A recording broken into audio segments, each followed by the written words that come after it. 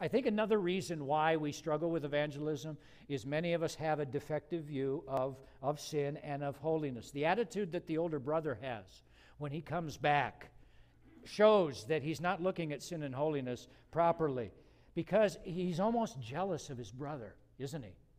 That he went off and did what he didn't have the guts to do. You almost get that because he comes, he comes in, he won't go into the party that they're having. His father comes out to bring him in.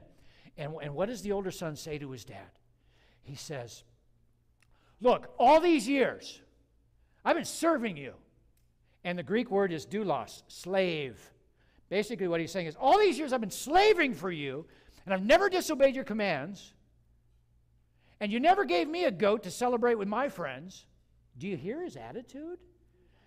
He's jealous of his brother. My brother is out having fun well, I'm here obeying you, and it's such a drudgery.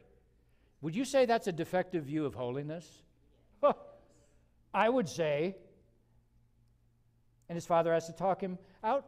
I mean, it's, it's how people think today. Oh, I, you talk about accepting Christ, and you'll get people that'll say this to you. Oh, I, I can't become a Christian now. What? And not have any more fun in my life? I can't fool around. I can't look at bad pictures. I can't get drunk. Some of you may think that way, that being a Christian is just the dreariest thing. But let's think this through logically for a minute.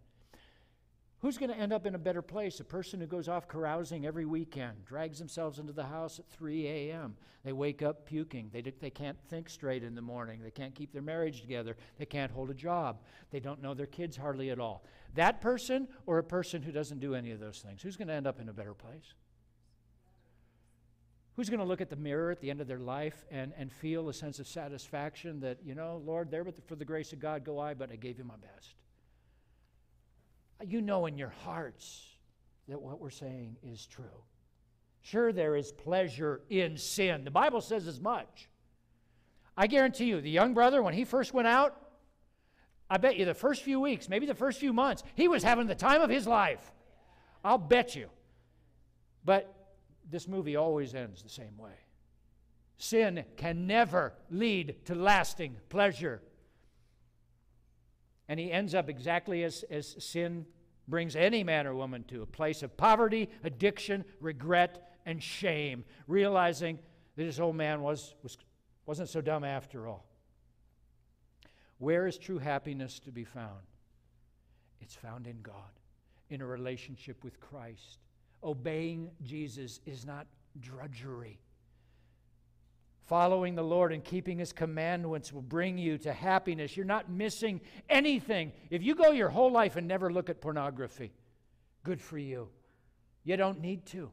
You're not missing out on anything. There is nothing you gain or learn by experimenting with sin. If you never go out and get drunk, good for you. Keep it up. Almost forgot about this, Ben. Um, I asked Ben if he'd bring some dog food here. Um, I want to, instead of uh, communion wafers this morning, we're going to use dog food. Is that okay? Um, and maybe to get your palate ready, who wants to have some? Anybody?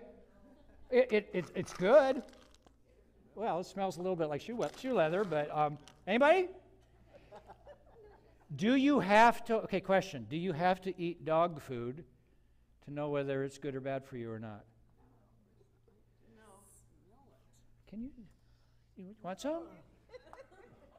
Do you need to uh, sample dog food to, to, just to see what you're missing? No? Will your life be more uh, satisfying? Will you be more re- well rounded if you have dog food? Why, why not? None of you are taking it.